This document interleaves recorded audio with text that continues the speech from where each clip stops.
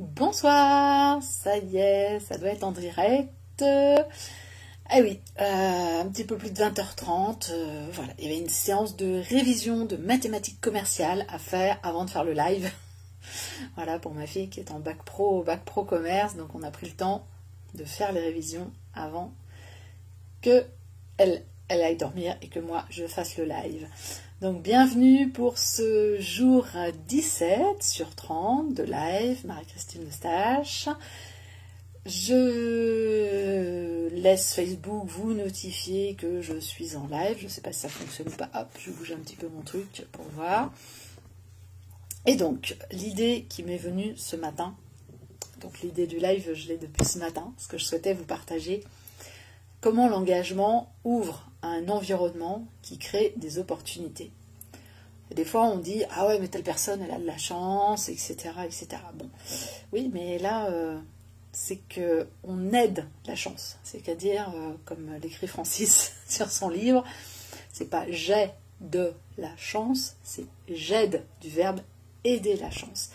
Et on aide la chance en s'engageant.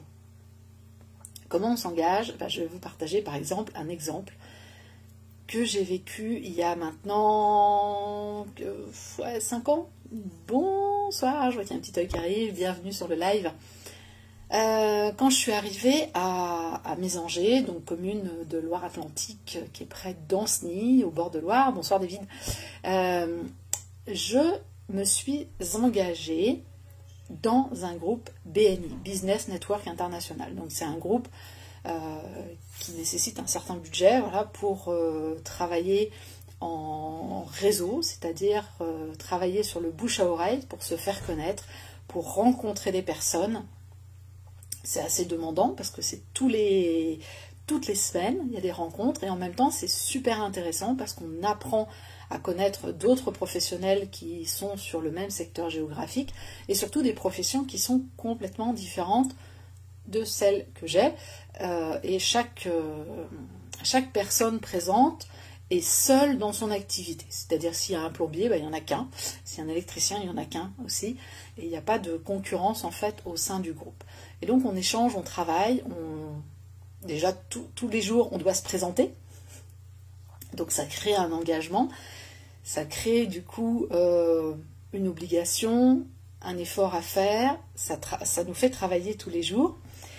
Et donc cet engagement bah, ouvre à l'environnement qui est celui du groupe. C'est-à-dire qu'on se retrouve avec différentes personnes et après on peut aussi rencontrer les autres personnes du groupe, euh, de d'autres groupes. Et ça a été mon cas justement en formation, parce que c'est un réseau dans lequel on se forme j'ai rencontré une personne qui m'a ouvert un autre environnement un an plus tard. Et c'est en ce sens que je dis que s'ouvrir à un environnement, ça permet de créer des opportunités, c'est-à-dire que je ne serais pas rentrée dans ce groupe-là. Il euh, ben, y a peu de chances que j'aurais rencontré cette personne directement, ou ça se serait fait, mais sans doute plus, de façon plus compliquée, et j'aurais certainement pas ouvert sur un autre environnement. Donc c'est pour ça que l'engagement il est important dans ce sens-là.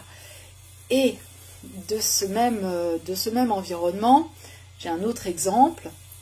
Au mois d'octobre dernier, donc j'avais pris l'engagement même avant, hein, j'ai dû le prendre au mois de juin, quelque chose comme ça. Je me suis engagée à être présente à un séminaire. Et lors de ce séminaire, j'étais à côté, j'étais juste, juste derrière en fait les personnes ce qu'on appelle les VIP, hein, celles, qui, travaillent en direct avec le coach, qui sont en, en groupe vraiment rapproché, dans son mastermind.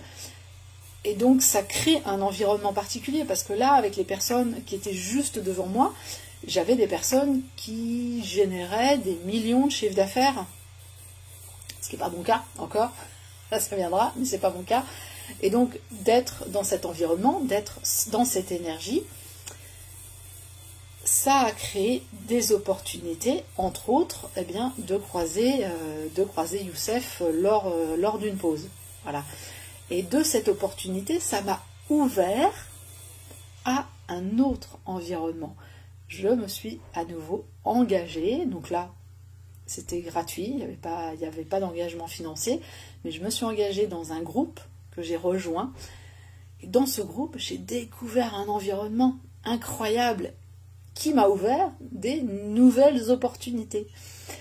Voilà, donc ce matin, c'est quand, quand j'ai pris conscience de ça, de, de, ce fait, parce que ce matin, voilà, j'ai pris aussi un autre engagement avec un, un praticien.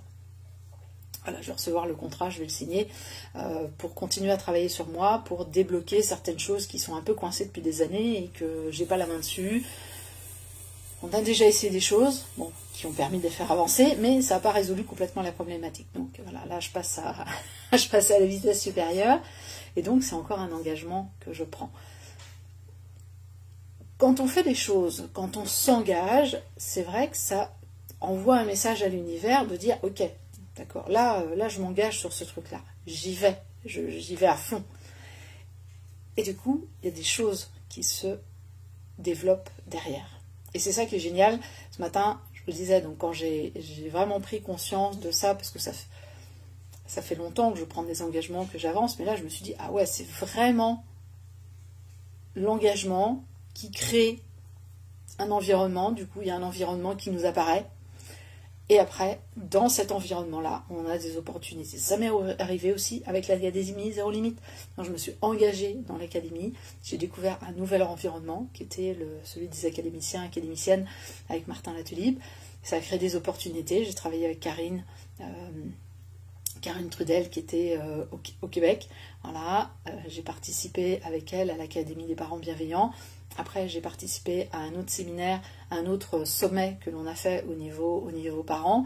C'est des choses que je n'aurais pas pu vivre, expérimenter, mettre en place si je ne m'étais pas engagée à un moment. Voilà. Donc c'est ce que je souhaitais vous partager euh, ce soir, parce que c'est vrai qu'il y a des fois où on se dit, bah ouais, oh, bah non, j'ai pas trop envie de m'engager, c'est pas trop sûr, et je suis la première. Hein. à, de temps en temps hésiter, me dire bon, hmm, je sais pas, j'y vais, j'y vais pas, j'y vais, j'y vais pas, je sais pas. Et euh, bon, il y a un moment, il faut prendre une décision dans un sens ou dans l'autre.